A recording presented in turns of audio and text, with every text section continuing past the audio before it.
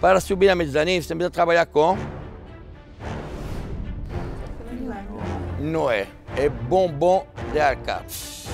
Bombom de alcatra, uma carne neutra que dá para fazer muita coisa. O problema é que isso aqui é Masterchef. É, tá fácil demais. Todos vocês vão ter, para fazer o bombom de alcatra perfeito, um tempo de 5 minutos. Cinco Quê? minutos? Hã? Vocês vão começar com 5 minutos. Ah. Quem vai decidir o tempo adicional a 5 minutos é a sorte. Essa é a roleta Masterchef do tempo e dos ingredientes da prova de hoje. Quanto menos tempo, mais ingrediente. Quanto mais tempo, menos ingredientes. 25 Aê! minutos e 6 ingredientes mais o bombom de alcatra. Foi bom. 15 minutos e 8 ingredientes. 15 minutos e 8 ingredientes. Tá bom. Vai lá. É isso. É. Ai, 15 minutos e 7 ingredientes. O que, que você quer? Tanto faz. Tanto faz?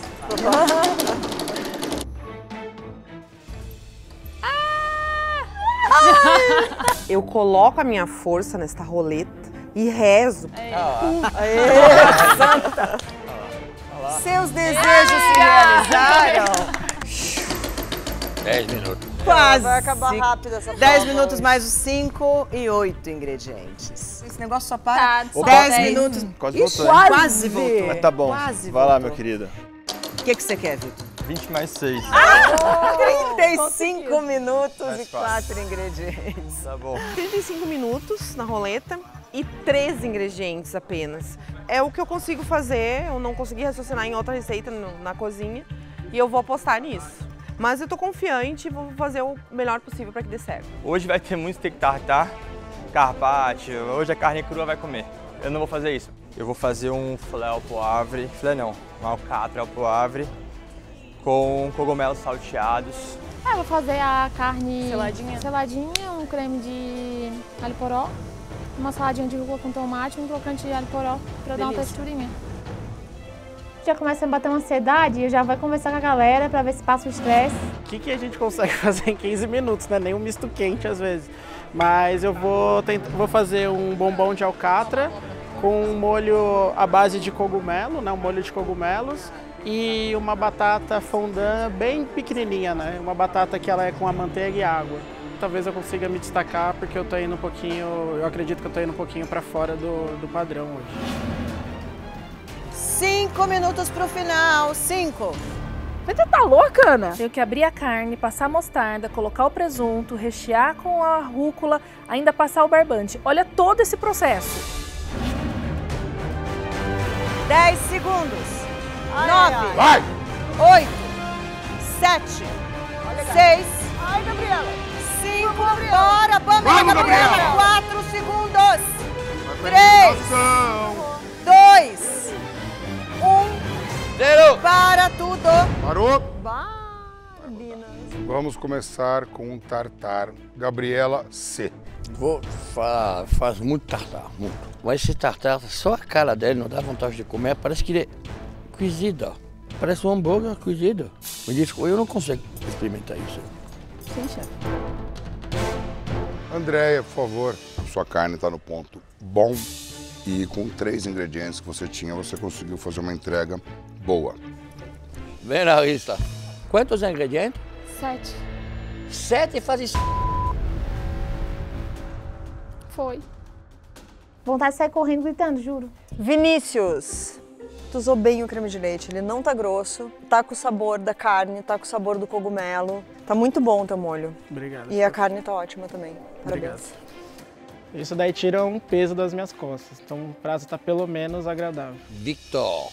É bom? O meu você um pouquinho mais reduzido. Aí no clássico, ve- verdadeiro filho não vai creme de leite. Mas todo mundo bota creme de leite. Todo mundo. Eu não, eu não sabia dessa não, legal. Hum, é verdade, eu não boto, eu não boto. É uma outra versão. Pamela, vamos aí finalizar? É, Olha aqui, vem cá, vem cá, vem cá, vem cá, vem cá, vem cá, vem cá. Não deu, não deu ponto, né? Não deu tempo. A ideia foi boa, porém, a execução não chegou. Tá certo. Tiveram três trabalhos que ficaram muito longe de estar bons, ou médios até, eu diria. Larissa, Gabriela C e Pamela. Vocês três vão direto para eliminação. Bom, em compensação, tem três trabalhos que conseguem administrar o tempo, respeitando o produto. Vitor, Vinícius e Andreia. O melhor é Vinícius. Esse champignon estava muito gostoso. Esse sabor desse molho estava boa. Caramba, nosso primeiro terceiro pin!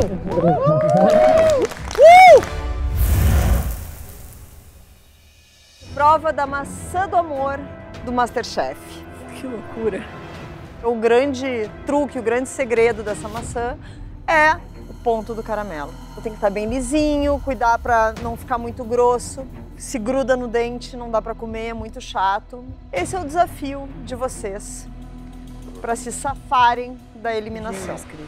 Na prova do Crock and Bush, eu queimei o meu caramelo umas duas vezes, mas nessa daqui eu não vou deixar ele queimar. Se eu tenho quatro bocas de fogão, sei que caramelo é fácil de errar. Eu vou fazer logo quatro aqui. Cara, eu quero muito subir. Eu quero muito subir, então eu vou dar vida aqui pra subir. Eu apostei em cima de Roberto, eu, porque ele é muito tranquilo. Eu precisa ser tranquilo para fazer um caramelo bom. Caramelo lá. Nunca fiz maçã do amor, caramelo não sou muito, não tenho muita intimidade, mas vou fazer. Ó, isso aqui. Quando o Jacan vai cortar minha maçã, eu só penso que o caramelo tem que estar fininho e tem que estar crocante.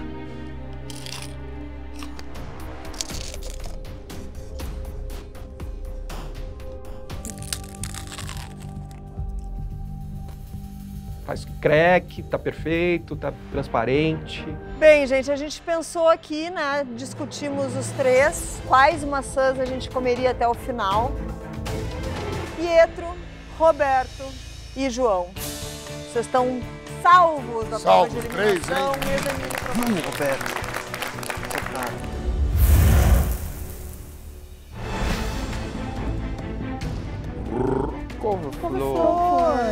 Vocês terão que fazer obrigatoriamente uma forma específica, que é um bife de couve-flor, com um molho e pelo menos um acompanhamento. Estão preparados? Sim, chefe. Eu vou fazer uma couve-flor assada, bem delicada, com um romos de feijão fradinho, beterraba, e eu vou fazer uma salada como se fosse uma vinagrete, assim. E eu acho que vai ficar bem refrescante o prato, assim. Acho que vai ficar equilibrado. Fazer a couve-flor brilhar não é tão fácil, né? Mas eu vou evidenciar a couve-flor de todas as formas, que é uma coisa que a gente aprendeu muito, que eu aprendi na minha faculdade de nutrição, que dá para utilizar o ingrediente como um todo, então eu tô querendo trazer isso para os chefes hoje. Tá sob controle, Zé? Zé, tá tudo certo? Tô indo.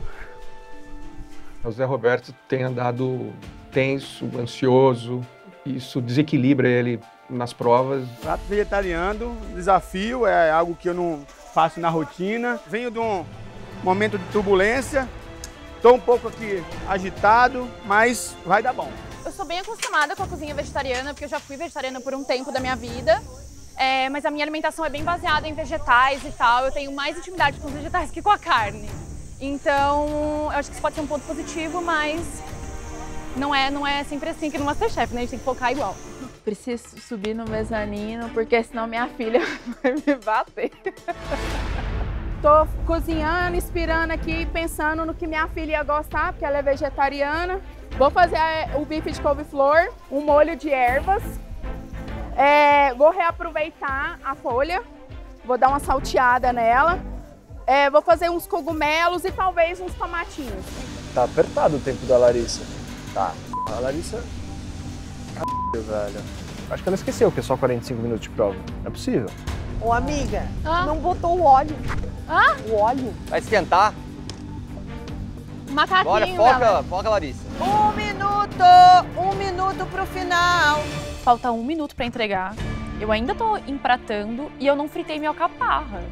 Eu vou desesperadamente abro o pote e jogo elas dentro da panela, seja o que Deus quiser, mas eu preciso empratar essa alcaparra. Sete, Não esquece o seis, vamos couve-flor. lá, gente.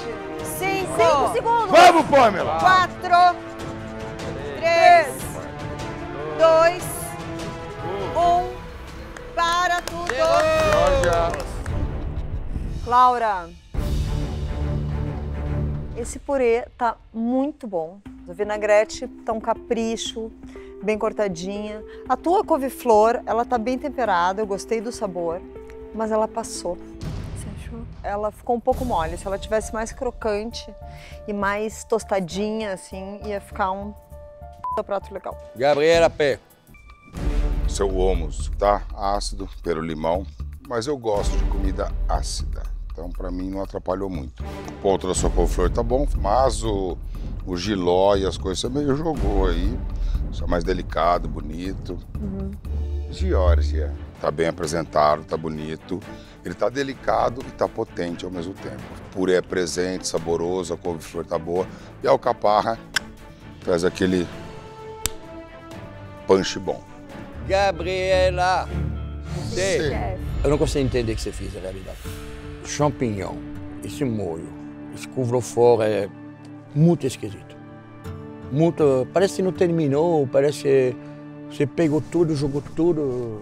Parece que tem obrigação de usar isso, não sei, não consigo explicar a estrutura do seu prato. É, não é bem agradável, eu vai sofrer. José Roberto, por favor. Pra tu tá fora da tua zona de conforto, eu acho que tu trabalhou muito bem os vegetais. Eu gosto da textura deles. Gosto da textura da couve-flor, tá bem tostadinha, ervilha torta. Tá bonito o prato, mas tá sem sal e sem tempero. Bom, obrigado. Teve alguns pratos que eu achei bem interessantes. Gabriela, a tua couve-flor, ela faltou um pouco de, de tempero mesmo, eu acho, tá mais marcadinha, mas o acompanhamento estava muito gostoso. E tecnicamente, pra gente, tava bom, você fez um bom trabalho. Mezanino pra você. Laura, eu gostei da ideia do teu prato também. Teu creme de couve-flor com castanha do Pará tava delicioso. A couve-flor mais molinha, é, mas eu gostei desse toque com missô, com óleo de gergelim. Para nós aqui você fez um bom trabalho também, mezanino. Georgia, para nós você fez o melhor trabalho hoje. Parabéns. Mais um pin, hein? Sem fazer muita volta aqui. Dois pratos sem pé nem cabeça, sem tempero. O que, que resta pra gente aqui? Técnica, né? José Roberto, você sobe, você ganhou mais uma chance, José. Gabriela, infelizmente, o Masterchef acaba pra você agora. Não deu. O sonho de ganhar o Masterchef encerra, mas da gastronomia só tá começando. Vocês vão ouvir falar muito de Gabriela Cunha. Pode deixar. Tchau, gente.